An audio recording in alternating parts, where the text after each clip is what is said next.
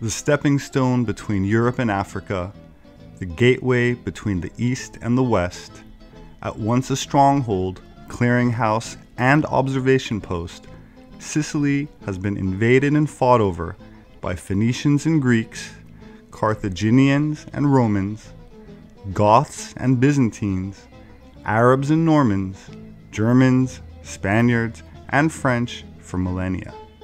It has belonged to all of them and yet has probably been part of none.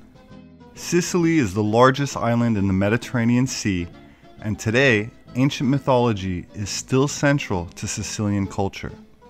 Rites and mysteries celebrated in reverence to pre Christian goddesses such as Isis, Aphrodite, or Venus were recast to celebrate patronesses such as the Black Madonna or Santa Lucia. Eventually, rituals associated with the goddess cults were forced underground, and a form of hysteria, tarantism, was said to result from the venomous bite of the wolf spider. In many cases, it's said that this popular hysteria was little more than a reaction to the increasingly strict social order imposed by the Inquisition. It eventually evolved into a lively dance, the Tarantella.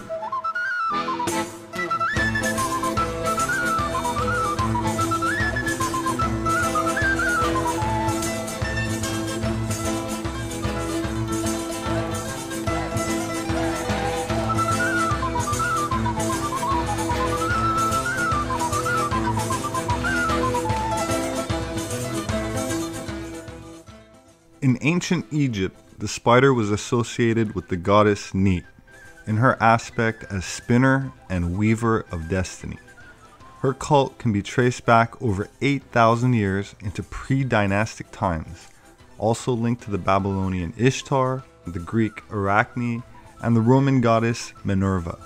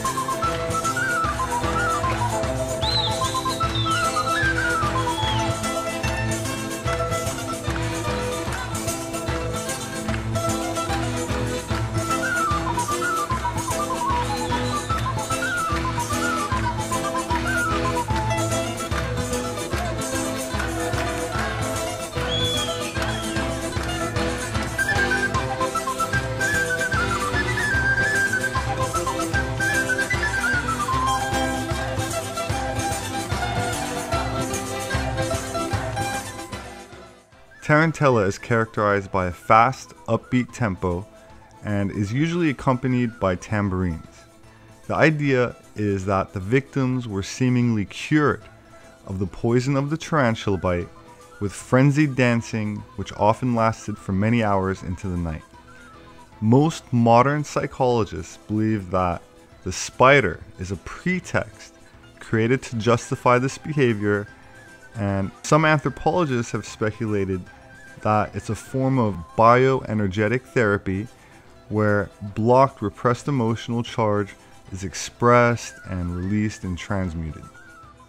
While this may indeed be the case, the tarantella is probably also connected to the dances performed during the Bacchanalia, the celebrations for the god Dionysus, or Bacchus for the Romans. Dionysus was an Olympian god of wine, festivals, and pleasure ritual and sacrifice, athletic games, dramatic performances, feasting, and orgies were all elements of the ancient festivals. Dionysus is closely associated with Pan. In Greek religion and mythology, Pan is the god of nature and the wild, shepherds and flocks, flute music, and companion of the nymphs. He was depicted as being half human while having the legs and horns of a goat.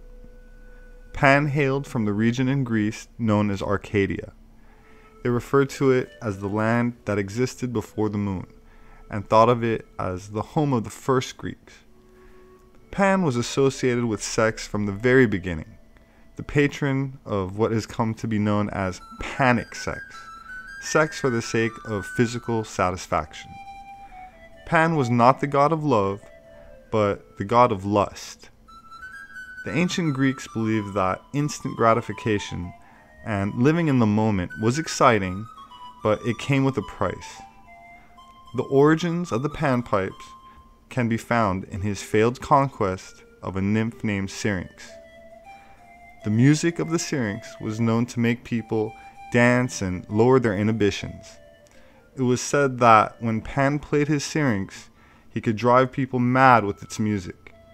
The sound of the Syrinx filled people with the lustful nature of Pan, and as a result, they often lost control. This is the story of the Greek god Pan, one half goat, the other half man. He had a curly beard and horns on his head. He really was a panic, the Greeks all said. Pan, Pan, Greek god Pan, one half goat, the other half man. Pan would caper through the woods and fields, dancing, singing, and kicking his heels. Protecting the shepherds who guarded the sheep, they prayed to him as they went to sleep. Pan, Pan, Greek god Pan, one half goat, the other half man. Nymph named Syrinx caught his eye. He wanted to play, but she said, Not I. Then began a merry chase. She ran like a deer. 'Twas a very close race. I can't escape him. I can't hide. Someone save me, Syrinx cried. Her sisters came with all due speed. Their magic changed her to a water reed. Pan, Pan, Greek god Pan, one half goat, the other half man. Why did Syrinx scream and run? All I wanted was to have some fun. Well, Pan, my boy, as my father would say, tomorrow is another day. Pan, Pan, Greek god Pan, one half goat, the other half man.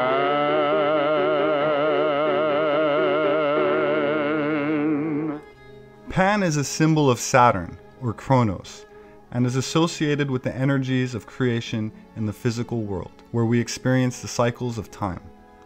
Pan's zodiac sign is that of Capricorn, the goat, an animal that has a lot of sexual potency that has in later times been converted into Satan, which means adversary. Satan, as a force, manifests as all of the animal appetites that we have within, in the body and mind as well. So, those defects that we call anger, lust, pride, vanity, laziness, etc., are all considered animal attributes or impulses that we should overcome or subdue. That is, we must conquer the animal aspect in order to transform the animal nature into a divine nature, or to enter into the kingdom of heaven. In other words, from a Gnostic interpretation of the myths, we have to conquer Pan, we have to conquer Satan, the mechanical forces of nature represented in that horny adversary, which is not outside somewhere externally, but lives inside every one of us. Which brings us to the moon. In the study of alchemy or in occult mystery schools, the sun is regarded as masculine because it gives off light rays, whereas the moon does not emit any light of its own but reflects the sun's rays and therefore is regarded as a symbol for the divine feminine, a female archetype representing a higher refined state of enlightenment or intuition, a sixth sense.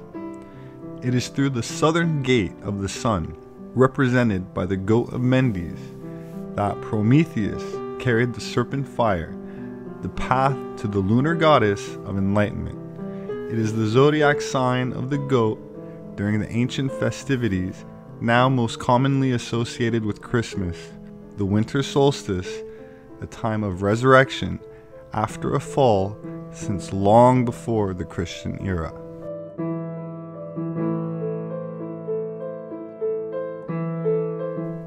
In many esoteric interpretations of these ancient myths, the spilled semen is regarded as a great loss of spiritual vitality equated to death, where the mystery is how to manipulate this orgasmic energy rather than expel it.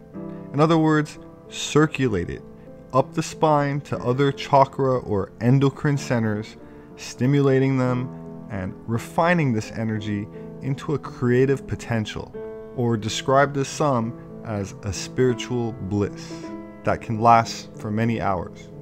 My name is Robert Sepehr. I'm an independent yet educated anthropologist. Thank you for listening and for subscribing if you've done so. Please share my videos if you enjoy them. I rely on word of mouth. Thank you to my subscribers that have donated to Atlantean Gardens, the nonprofit organization that publishes my books available on Amazon.com and makes these educational videos possible. Don't forget to leave a comment. I'll see you next time.